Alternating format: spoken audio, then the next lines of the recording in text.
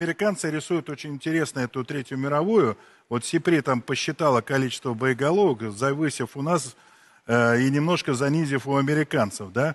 У них там все хорошо получается, они говорят, 56% наших боеголовок будут сбиты. Дай бог мы этого не узнаем. Дай бог, чтобы Никогда. этого не произошло. Алкодегенерал Гурулев анонсировал скорую победу над здравым смыслом. Потому что совсем скоро в Казани состоится саммит БРИКС, где появится новая валюта, которая наконец-то якобы похоронит доллар. Судя по так называемой Олимпиаде стран БРИКС, проводимой также в Казани, результат вполне прогнозируем.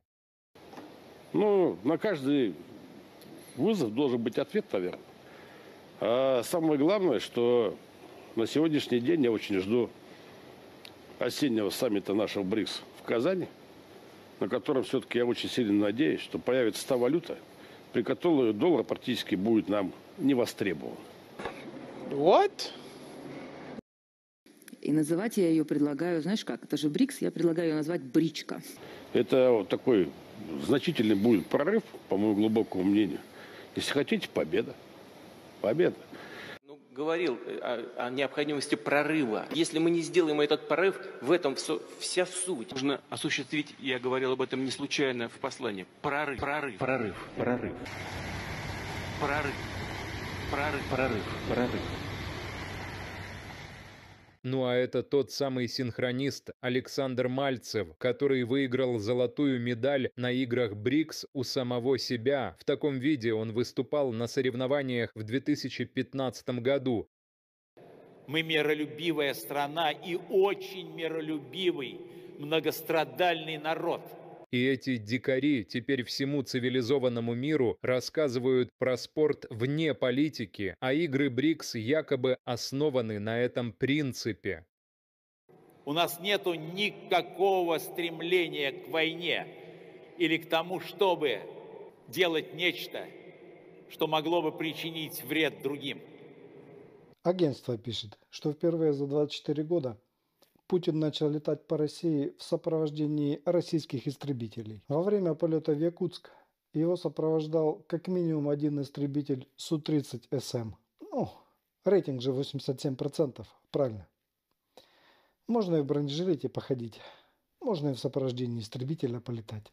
Здравствуйте, здравия ваши. Отлично. Вы даже меня похожи.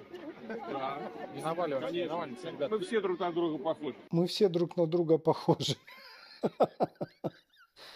Нас же по одному принципу подбирали, гримировали.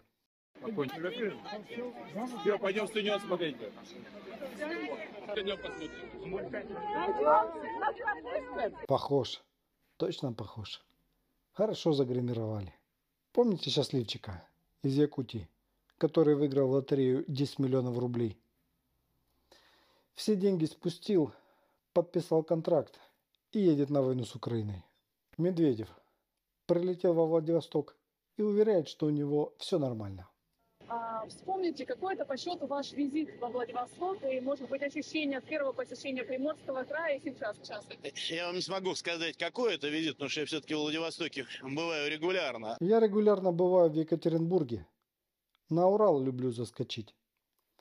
А сегодня приехал откупорить бутылочку Владивостока.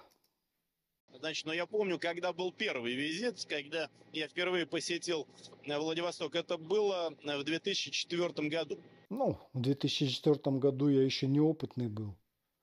Саркози Берлускони пришлось под руки меня держать. Приходилось. Но с тех пор я набрался опыта. Натренировал печень. И теперь у меня все гуд. И вот прошло ровно 20 лет. На Впечатления у меня самые благоприятные, поскольку С утреца стакан раздавил. И впечатления самые благоприятные. Ну, а к вечеру протрезвею. И ждите снова новый пост в Телеграм. Тем временем во Владивостоке американского военного приговорили к трем годам и девяти месяцам колонии по обвинению в краже 10 тысяч рублей у россиянки. Гордон Блэк поссорился со своей девушкой Александрой Ващук, якобы схватил ее за горло и украл деньги для оплаты отеля. Американец говорит, что его девушка сильно напилась и первая начала его бить. Тогда он ушел от нее в отель и взял деньги в долг, но вернул на следующий день. Казалось бы, бытовая ссора, маленькая сумма, но все равно реальный срок. Непонятно, было ли реально преступление или нет, но в любом случае уверен, что этот американец будет использоваться в качестве обменного фонда. В Петербурге четверых человек задержали за полуголую фотосессию на кладбище. Участниц фотосессии Анну Пантелееву и Кристину Рожкову, а также фотографов, обвиняют в надругательстве над местами захоронения – Заявление написали профессиональные доносчики. Также на девушек устроили травлю. Пантелеева заявила, что таким образом пыталась пережить изнасилование, а также удалила фотографии, извинилась и пыталась уехать из страны, но не успела. Теперь ей грозит до пяти лет тюрьмы.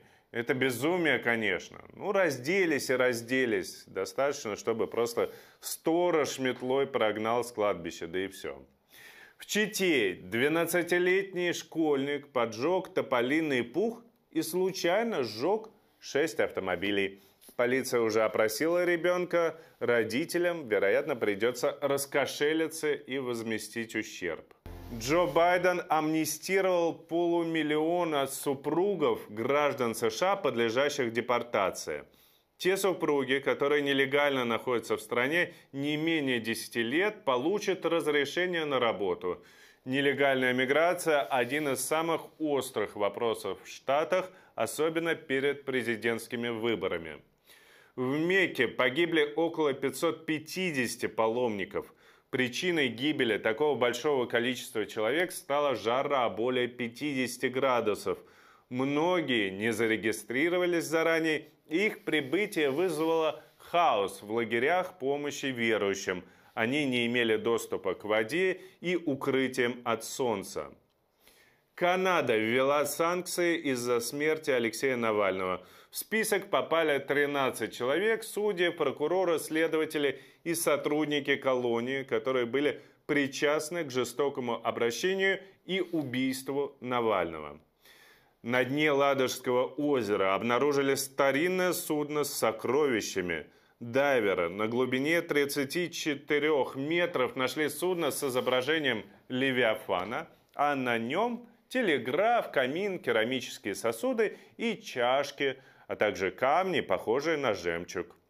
И еще одна находка обнаружилась в Белом море. Там нашли пароход «Поморье», который пропал 83 года назад – Вероятно, корабль подорвался на мине, а все моряки и пассажиры погибли.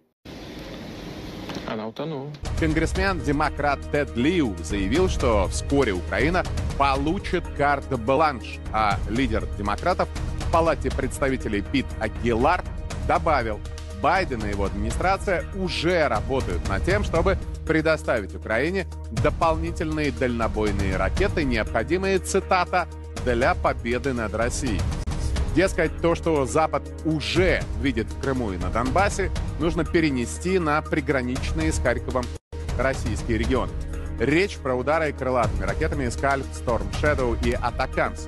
К югу от э, Крыма, причем э, сутками напролет, висят американские беспилотники-разведчики RQ-4 Global Hawk. Чем они там занимаются, секрет Полишинеля. А значит, их уничтожение — это вопрос нашей национальной безопасности